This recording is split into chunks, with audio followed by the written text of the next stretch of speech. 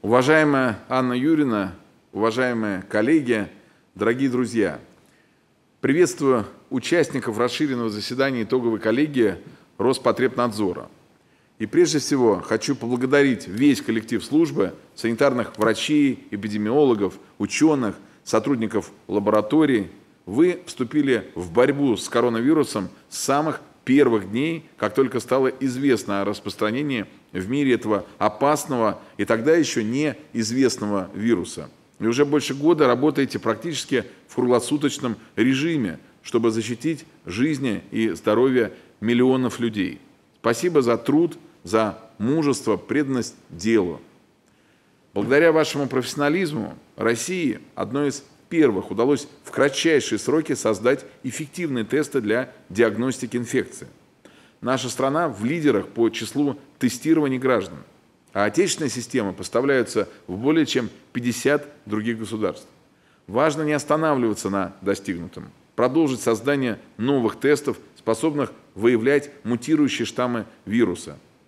Институты службы ведут каждый день масштабную работу по моделированию и прогнозированию по анализу эпидемиологической обстановки, что позволяет держать а, ее на контроле и действовать на опережение, а также оперативно принимать все необходимые решения. Все это огромный вклад в нашу общую борьбу с коронавирусом. Сейчас ситуация постепенно стабилизируется.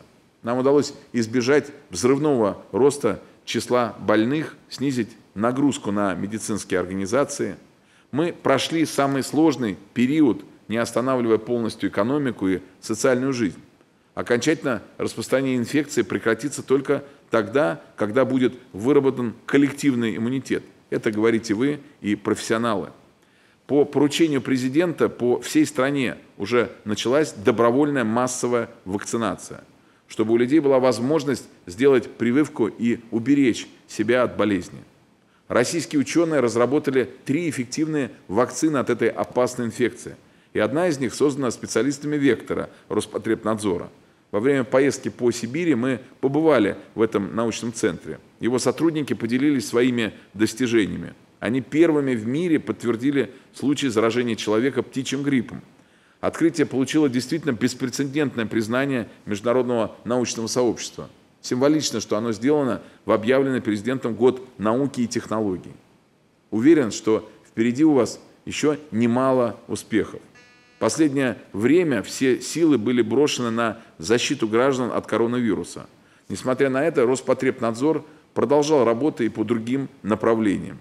В том числе служба обновила все, норм... все нормативные ведомственные акты.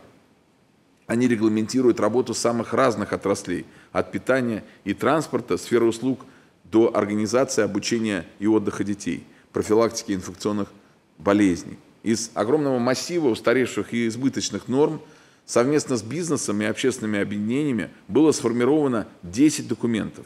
Они устанавливают правила, призванные сохранить здоровье и благополучие людей.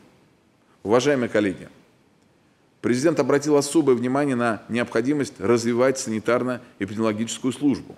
И правительство уже ведет такую работу, в том числе по модернизации лабораторий и их оснащению. Нужно заранее готовиться к возможным угрозам, чтобы защитить граждан нашей страны.